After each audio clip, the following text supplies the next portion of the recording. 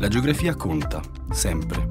I panorami che ci circondano sono il motivo per cui sogniamo certe cose e non altre, che siano i boschi, i profili delle montagne, le pianure infinite o il mare. Quello che abbiamo guardato fin dall'inizio rimane dentro di noi e dentro le nostre imprese. Gli antichi dicevano che ogni luogo del mondo ha uno spirito che lo abita e lo definisce. Chiamavano questa specie di divinità con il nome di Genius Loci, genio del luogo, per dire che certe cose nascono in un ambiente preciso e non può essere altrimenti. Questo è Genius Loci, il podcast voluto da Confindustria Veneto Est per raccontare le storie di imprenditrici e imprenditori, delle loro imprese e di come siano legate a un territorio poco raccontato, unico e geniale, il Veneto Est.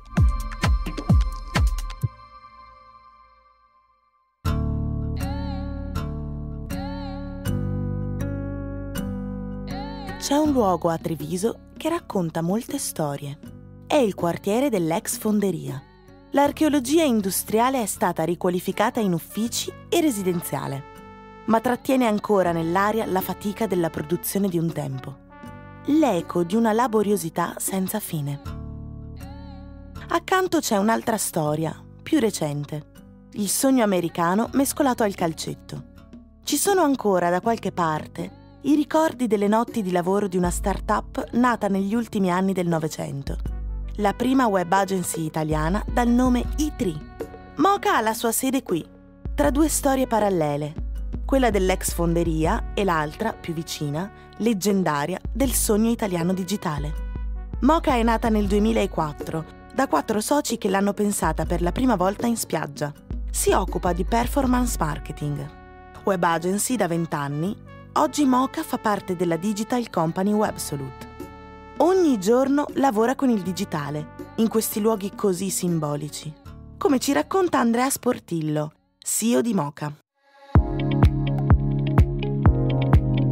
Questo spazio fu la sede di ITRI nel 98, eh, 98-2000, insomma due o tre anni. ITRI è stata una delle prime eh, web agency in Italia che ha avuto successo, eh, sono partiti in poche persone e nel giro di due o tre anni sono esplosi, sono passati da 8 a praticamente 80 dipendenti in due anni ed è stata una delle prime web agency famose in Italia o quantomeno comunque del, del Trivento, delle nostre zone. Eh, avevano preso i primi clienti importanti, i primi progetti importanti eh, insomma e lavoravano qua. Chiaramente loro era proprio modello startup eh, americana, quindi la, la, gente dormiva qui in ufficio, mi ricordo che ho visto delle foto, avevano proprio dei letti, avevano dei letti, dei letti a castello, avevano piste da bowling, il ping pong, eh, proprio la gente viveva qua praticamente 24 ore al giorno, dormiva qua e ripeto in due anni hanno avuto un successo strepitoso, poi hanno venduto, a capo c'era Donadon che poi ha ha dato l'Aic Farm, tutto quel polo lì. Quindi insomma c'è anche questo aspetto qui, no? siamo nello stesso posto dove più di vent'anni fa è esplosa una delle prime agenzie che del digitale ha fatto il suo mestiere, insomma, e ha portato il digitale a diffondersi anche in queste zone. Far parte di un gruppo come Websolute permette a Mocha di avere in casa tutte le competenze di filiera la digital company Websolute lavora con i brand, disegnando, creando ecosistemi digitali, gestendo omnichannel commerce.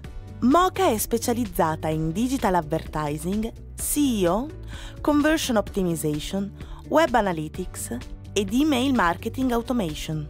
L'agenzia trevigiana aiuta, insomma, le aziende a ripensare processi decisionali e organizzativi, partendo dalle opportunità del digitale. Non mancano le possibilità, come le sfide, in questo segmento ancora poco compreso dal tessuto italiano. Tanti processi e tanti modi di fare le cose, per come le abbiamo fatte in questi, in questi ultimi decenni, probabilmente cesseranno di esistere o comunque verranno cambiati radicalmente da software, no? che sono potentissimi. Stiamo, abbiamo forse in questi, in questi ultimi due anni veramente sfiorato la punta dell'iceberg di quelle che sono le potenzialità dell'intelligenza artificiale. Si possono fare delle cose mostruose, onestamente. Ehm, per cui ecco, un occhio a quel mondo lì perché alle aziende potrà dare davvero una mano, una mano enorme. Il digitale, per quanto crescerà e per quanto mi aspetto che, come è successo in mercati molto più evoluti, continuerà a rubare quote di mercato a business più tradizionali, ma non sostituirà mai esperienze fisiche.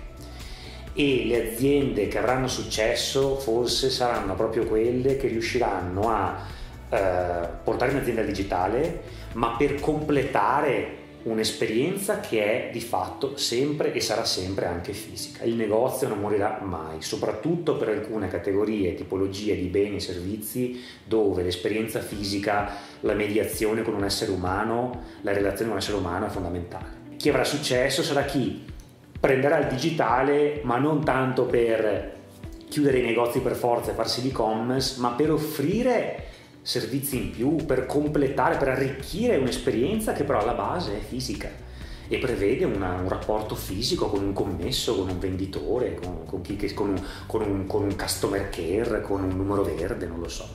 Ecco, quindi e, e, e, buoni esempi in Italia di esperienze, come si suol dire, omnicanali, no? quindi sia fisiche che digitali, non ce ne sono tantissime, onestamente. Neanche da aziende molto grandi che avrebbero magari le risorse per poter lavorare bene, in realtà di esperienze veramente virtuose come si sono viste all'estero in Italia non ce ne sono ancora tantissime. Quindi credo che sia quella la vera sfida, prendere il digitale per completare l'esperienza che offriamo ai nostri clienti unendo il fisico e il digitale. Non ci sono ancora riusciti in tanti, quindi c'è ancora tanto lavoro da fare secondo me.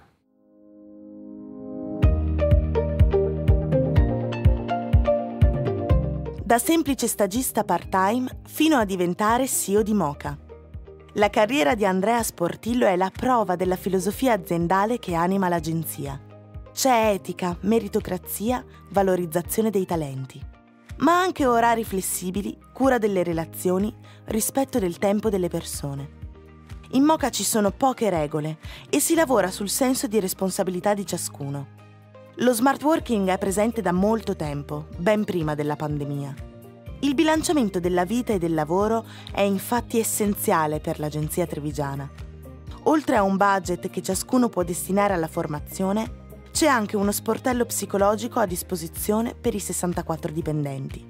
Per le sue politiche HR, nel 2023 Moca ha ottenuto il riconoscimento di Great Place to Work. In ufficio il clima che si respira è di complicità, gentilezza, attenzione. Andrea Sportillo la chiama la magia di Moca. Cerchiamo di essere davvero molto attenti a quello che è il bilanciamento tra, tra, lavoro e vita, per cui diamo la possibilità alle persone di iniziare a lavorare due ore dopo o due ore prima e di finire due ore dopo o due ore prima rispetto all'orario standard, quindi una persona può iniziare alle 11 e finire alle 8 di sera se è uno che a cui piace dormire fino a tardi o se la mattina va a farsi le spese o porta fuori il cane eccetera può farlo ci sono i mattinieri che invece possono iniziare alle 7 e finire alle 4, così dalle 4 possono andare do- dove vogliono. Eh, lo smart working lo avevamo sdoganato anche pre-Covid, quindi è una cosa, una politica che in realtà come dire, il Covid chiaramente ha esploso questa cosa, ma noi lo facciamo già da prima, quindi ad oggi facciamo smart working eh, 5 giorni su 5, per cui insomma, ognuno può decidere di lavorare da casa potenzialmente sempre, chiediamo una minima presenza a trimestre in ufficio, ma di fatto si può lavorare da casa da sempre cerchiamo insomma di, eh, non, di dare massima flessibilità e di lavorare sul senso di responsabilità. È quella che cerchiamo di costruire un'azienda molto snella anche a livello di regole, di procedure, di flussi. Cerchiamo proprio di togliere il più possibile e fare in modo che sia il senso di responsabilità e di attaccamento alla maglia delle persone che fa la magia. Uh, anche banalmente nelle trasferte non ci sono chissà che controlli sulle spese, cioè, certo che un controllo c'è, insomma, cioè il gruppo eh, ci fa la ramanzina come giusto che sia. Um, però in realtà si dà grande autonomia alle persone in, nel, nel, modo in cui devono, decidono di spendere i soldi dell'azienda per spostarsi, per andare dai clienti, eccetera. Nel senso che ci aspettiamo proprio che non serva la regola, basti il senso di responsabilità alle persone per poter con coscienza gestirsi il proprio tempo, gestirsi i soldi dell'azienda che devono spendere per andare dai clienti, Un'altra cosa, eh, diamo a ogni persona un budget formazione che possono spendersi durante l'anno per studiare, andare a eventi, andare a convegni, comprarsi libri, eccetera. E anche su questo, benché un indirizzo ci sia, una sorta di controllo ci sia, di modo che insomma cerchiamo di suggerire alle persone delle spese che siano coerenti con quello che veramente gli serve, insomma, un minimo di affiancamento c'è, però anche su questo c'è grande autonomia non c'è un, un, una persona che sta lì a controllare al centesimo dove sono stati spesi i soldi, si lascia alle persone massima flessibilità e autonomia proprio facendo leva sul senso di responsabilità no? e questo viene apprezzato. Viene apprezzato ed è uno dei motivi che crea insomma quella magia e che spinge le persone a stare qua, lo speriamo, per, per tanti anni e non solo per, per 24 mesi. Insomma. La tradizione, la capacità di inclusione tutta trevigiana e la voglia di futuro. Per Andrea Sportillo c'è un luogo che incarna meglio di altri l'anima di questi luoghi. Una vecchia osteria che ha saputo trasformarsi abbracciando la sua identità, senza mai tradirsi. I nanetti, per chi non lo conoscesse, sono una, un buco, un buco eh, di pochi metri quadri nel pieno centro storico di Treviso ehm, è di fatto insomma una vecchia osteria che adesso non ha tavoli all'interno però di fatto il concetto è un po' quello, quindi un luogo molto tradizionale. C'è molto dietro i manetti, nel senso che per quanto sia un qualcosa di molto semplice, ripeto, è un bancone dove tu vai, ti ordini il panino e te lo mangi fuori, in realtà è un'unione di una gastronomia molto tradizionale come il crostino col baccalà, il panino con la porchetta, ma in realtà eh, che reinterpreta lo street food in chiave molto moderna, quindi il tradizionale che è prima con la porchetta, però abbinato allo street food che è un concetto un po' più moderno, in una salsa così un po' molto giovane, ne vanno un sacco di studenti, vanno un sacco di, di ragazzi giovani, ma non solo. Ti puoi bere il bicchiere di, di cabernet e di vino abbinato, ti fanno il tagliere. E ripeto, per me è proprio un'espressione di tradizione con modelli però di, di, modernità, lo street food e anche di, di, innovazione, nel senso che questa cosa dove non c'è il tavolo, c'è solo un bancone, ti prendi il coso, te lo mangi fuori, c'è un pensiero dietro, no? E questo insomma rappresenta un po' l'anima di questi territori, quindi l'attaccamento alla tradizione, ma anche una, una grande spinta alla modernità, al cambiamento, a cercare la cosa un po' diversa ed è un posto che ha un successo incredibile per quanto sia, ripeto, un buco di pochi metri quadri che faccia panini con la porchetta e con la mortadella, no? Avete ascoltato Genius Loci, il podcast che racconta le storie e i territori delle donne e degli uomini che hanno fondato le loro imprese nel Veneto. Genius Loci è un progetto di Confindustria Veneto Est, sostenuto da Umana, l'agenzia per il lavoro di Venezia, da sempre impegnata ad accompagnare la crescita delle persone e delle imprese. Il progetto di storytelling e la produzione sono di Storie Avvolgibili. Il testo e le parole sono di Miriam Scandola. Le voci sono di Alice Segala e di Stefano Mangone. L'immagine e la comunicazione sono di Pensiero Visibile. Puoi ascoltare gli episodi di Genius Loci sul sito di Confindustria Veneto Est e su tutte le piattaforme di ascolto.